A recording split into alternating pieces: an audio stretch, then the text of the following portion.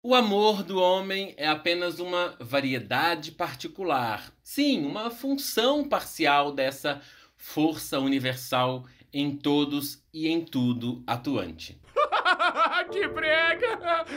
Quer dizer, uau, super, super legal. Oi, gente, bem-vindos de volta ao Filosofares. Uma frase para vocês aqui hoje de um filósofo que eu acho que eu nunca falei aqui no canal, chamado Max Scheller. Esse senhorzinho aqui que tá com uma cara de mau humor, né? Poucos amigos. Mas antes de eu te explicar essa frase e até boa parte do pensamento dele, aquele convite vem aqui embaixo agora e se inscreve no canal. Tô pedindo porque eu sei que muitas pessoas fazem parte aqui da família Filosofares, mas não se inscrevem, porque não percebem que não fazem isso. Mas a gente precisa muito da sua inscrição para chegar até os 30 mil inscritos até o final do ano. A gente conta com a sua ajuda. E também não deixa de deixar aquela curtida. Essa é mais rápida, né? É só apertar o botão do like aqui embaixo. Max Scheller é um filósofo alemão, nascido em Munique em 1874. Ele ficou conhecido por causa do seu trabalho nas áreas de fenomenologia, ética, antropologia filosófica e até por resgatar mais ou menos uma nova filosofia dos valores na contemporaneidade. A partir do contato com discípulos e o pensamento de Russell, ele se encantou pela fenomenologia do filósofo e procurou também descobrir a essência das atitudes mentais e a relação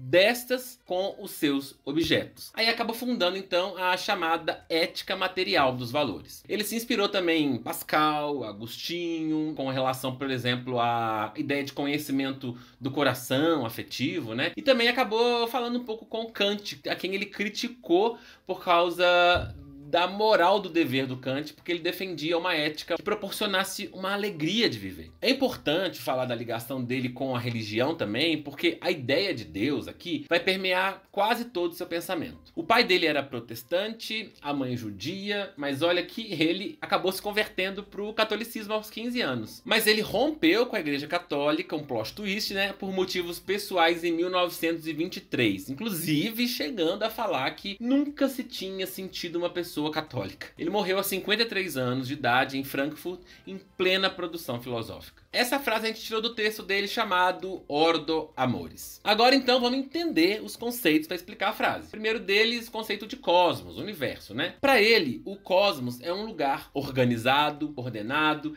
que reúne todas as coisas e que dispõe de quatro tipos de seres. Primeiro, seres inorgânicos, que só existem porque estão condicionados à nossa identificação e distinção. Segundo, seres vivos animados. Terceiro, os animais, né, que têm sensações e para ele até uma espécie de consciência. E por último, nós, né, os mais importantes, o ser humano que tem autoconsciência, ou seja, que ele é capaz de pensar em si mesmo e em sua constituição psíquica. Mas nele não dá para dizer ou enxergar o cosmos como um todo, como um mundo objetivo, idêntico, acessível a todo mundo de forma clara, direta. Para isso, Scheller então vai usar o conceito de mundo. O mundo é diferente do cosmos porque o mundo depende do objetivo da pessoa, da sua intencionalidade. Um mundo varia de indivíduo para indivíduo, para cada época e para para cada cultura. Assim, a cada pessoa individual corresponde também um mundo individual. Segundo conceito, pessoa. A pessoa é o conceito que ele dá para o ser humano. Pessoa é melhor que ser humano porque traz uma noção daquilo que ele chama de centro espiritual de atuação, que por causa da percepção que nós temos, a gente descobre o um mundo com os valores e também com a própria pessoa como o valor absoluto e irredutível, porque para ele a pessoa é maior do que os atos que ela comete. A gente tem uma dimensão também chamada chamada espírito e é ela que abre a pessoa para esse mundo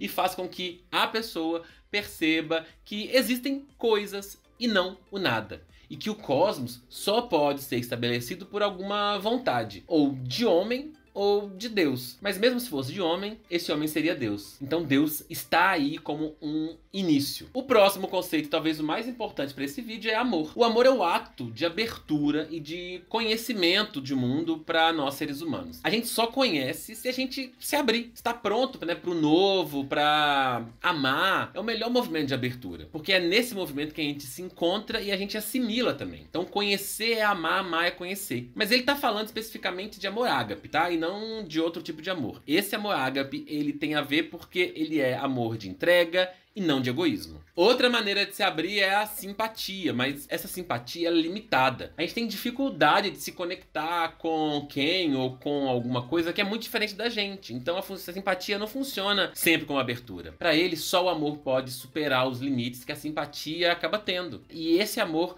acaba levando a gente numa relação de profundidade. E é ele que faz entender o ordo amores. Essa é a ordem do cosmos. E essa ordem é regida pelo amor, por Deus. Deus cria, faz as coisas funcionarem por amor e só por amor elas podem ser conhecidas. Amar as coisas como Deus ama também é afirmar no próprio Deus o amor. E isso também é conhecer a si mesmo e conhecer a realidade. Nas palavras dele, o amor é sempre o despertador do conhecimento e do querer, a mãe do espírito e da própria razão. O homem, ou o ser humano, a pessoa, antes de ser um ens cogitas, um ens volens, é um ens amans. Ou seja, antes de ser um ser pensante, um ser volitivo de vontade, ele é um ser que ama. Então agora voltamos para entender a frase. É por causa de tudo que eu falei que o amor do ser humano é só uma parte, uma manifestação particularizada do universo que é todo amor, que é organizado por essa força. Se a gente ama uma coisa, um valor, um amigo ou até um desconhecido,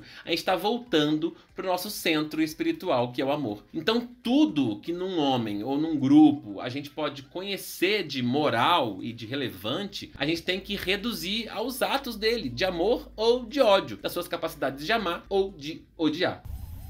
Claro! Isso é, valeu! Minha vida é uma bosta! E você? Tem conhecido a realidade com amor ou com ódio? Responde aqui embaixo para mim. Eu agradeço a sua companhia. Aqui no final, indicação de dois outros vídeos para você continuar aqui no Filosofares. Aqui embaixo, links inclusive filosofares.com.br. A gente se vê numa próxima. Muito obrigado pela companhia e tchau!